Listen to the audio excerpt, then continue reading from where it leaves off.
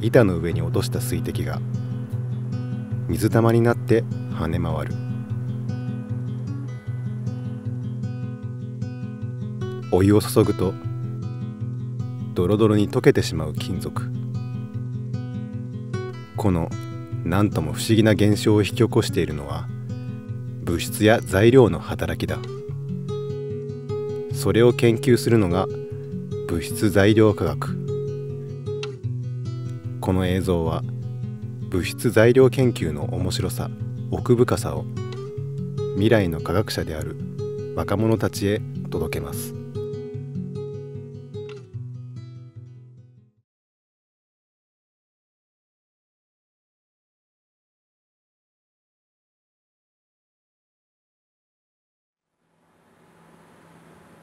これは里芋の葉っぱ。ここに水滴を垂らすと水滴が葉っぱの表面を滑るようにこぼれ落ちる。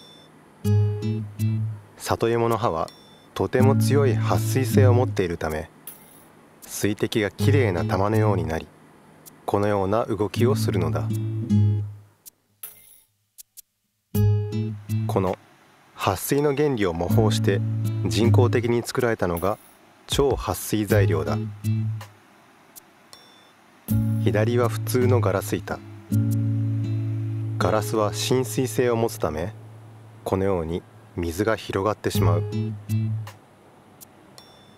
しかしこのガラス板に超撥水剤をコーティングして水滴を垂らすと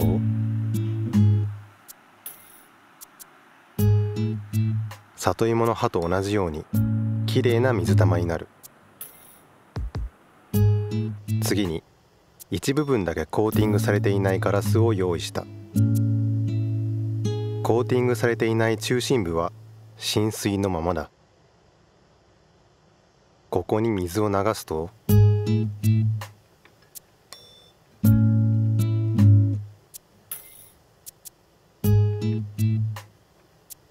水は撥水コーティングされていないところにとどまろうとする。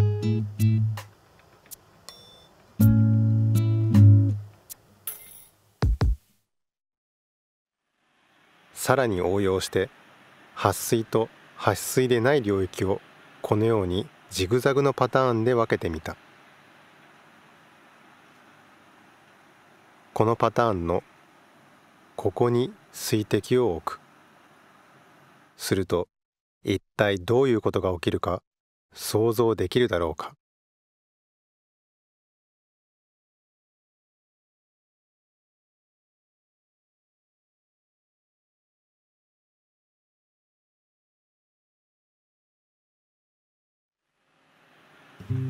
ではやってみる。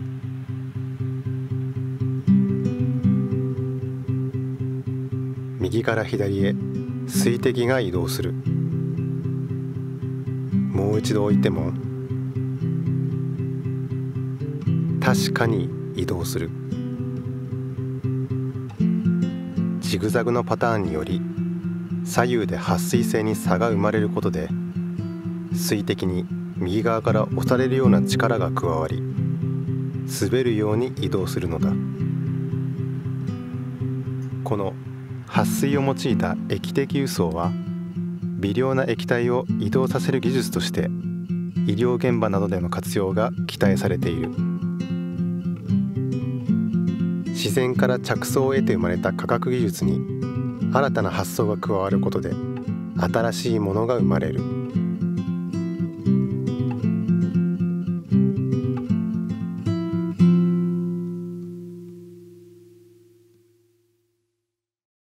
未来の科学者たちへ。ニムス。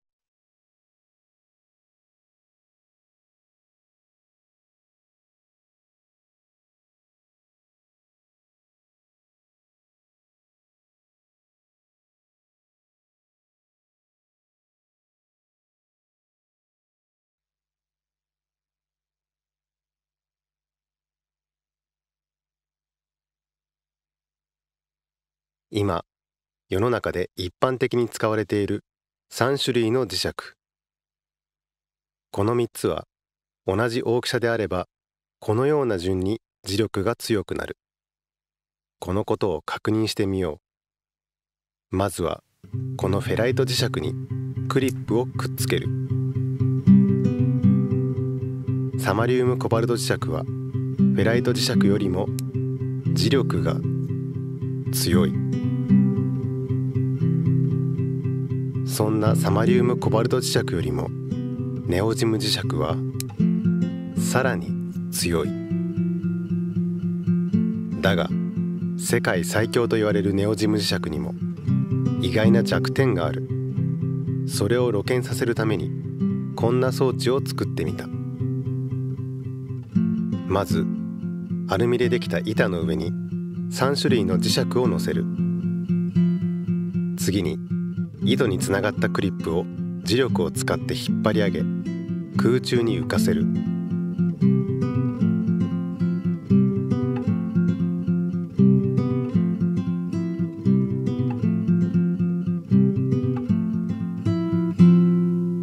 そしてアルミ板の端を熱してしばらく時間を置く。すると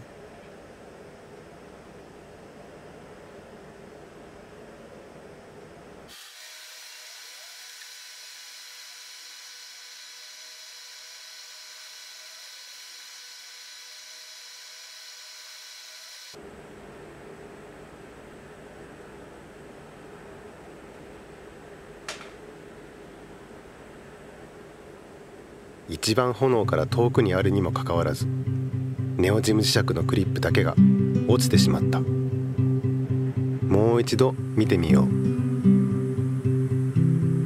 5分を過ぎた時点ですでに一番右のネオジム磁石のクリップだけ少し糸がたるんでいるのが観察できる。そして熱を加え始めてから5分20秒経った時。クリップが落下した。実は磁石はある温度に近づくにつれ磁力を失っていく。この温度はキュリー温度と呼ばれネオジム磁石は他の磁石に比べてキュリー温度が低く熱に弱いのである。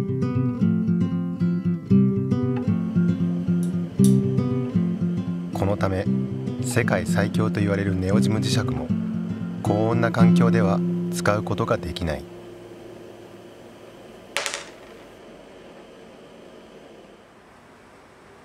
ニムスでは現在キュリー温度近くまで効力を失わない新しいネオジム磁石を作る研究を行っている。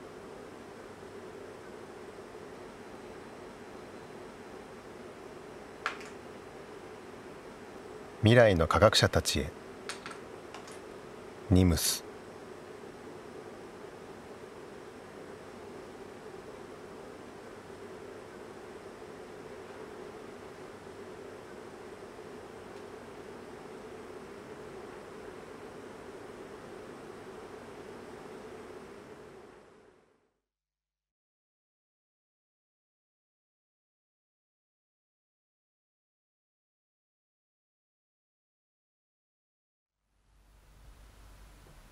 ハンダ漬けに使うハンダ。鈴と鉛の合金である。ハンダはハンダゴテで簡単に溶かすことができるがその材料である鈴や鉛にハンダゴテを当ててもなかなか溶かすことができない。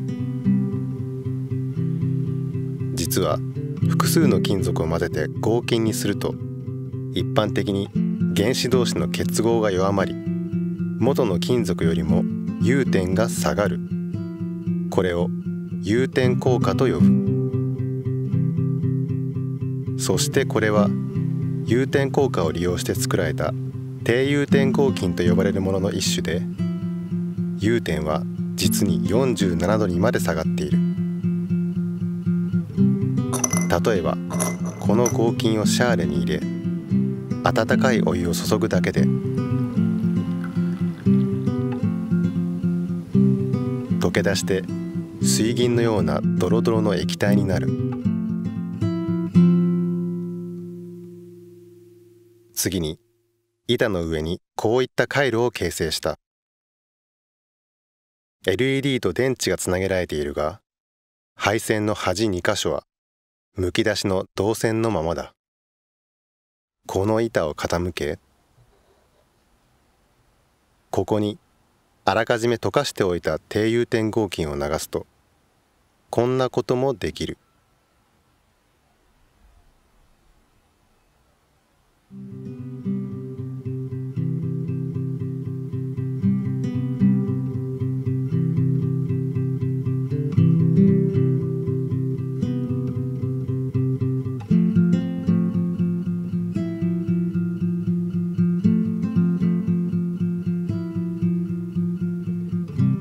LED が点灯した。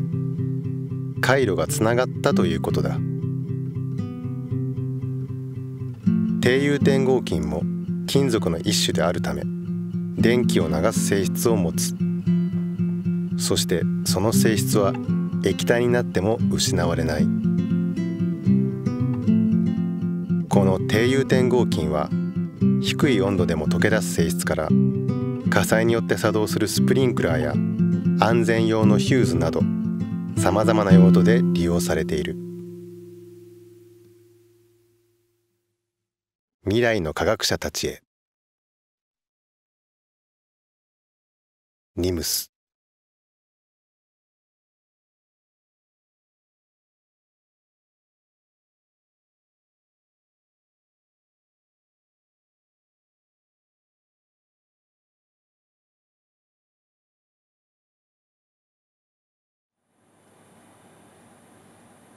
熱膨張。熱膨張とは温度の上昇により物体の体積が増加する現象のことである。例えばこのアルミの棒も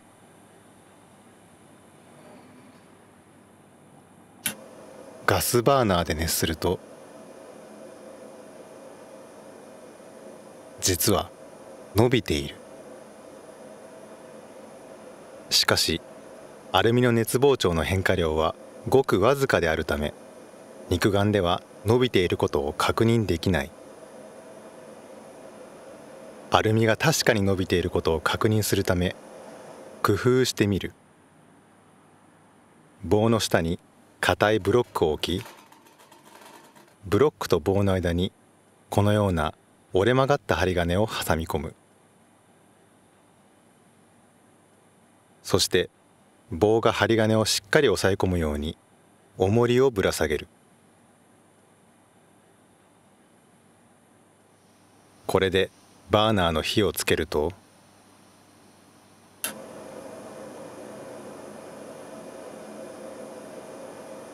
針金が回転していく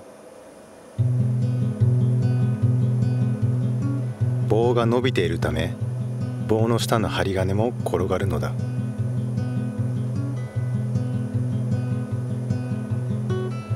このように熱膨張のわずかな変化も実験を工夫し変化を拡大することで目に見える形で可視化することができるのである。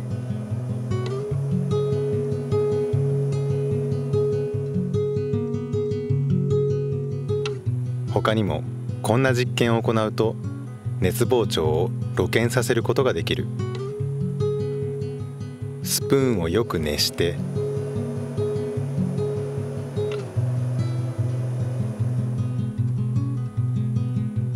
このよく冷えた鉛の塊の上に置くと一体どういうことが起こるか想像できるだろうか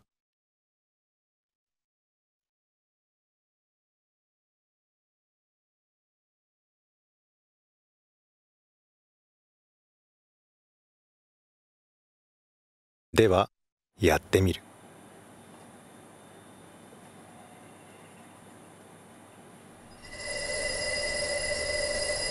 ベルのような音が鳴り始めた。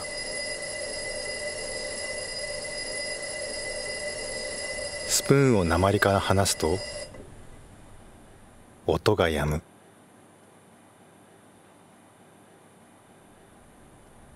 スプーンの熱が鉛に伝わると鉛は急速に膨張する。その膨張がわずかにスプーンを下から突き上げる。突き上げが繰り返されることでこのような音がするのである。熱膨張が確かに起こっていることを音でも露見させることができるのだ。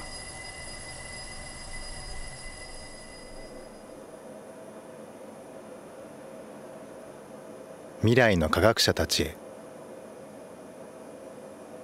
ニムス。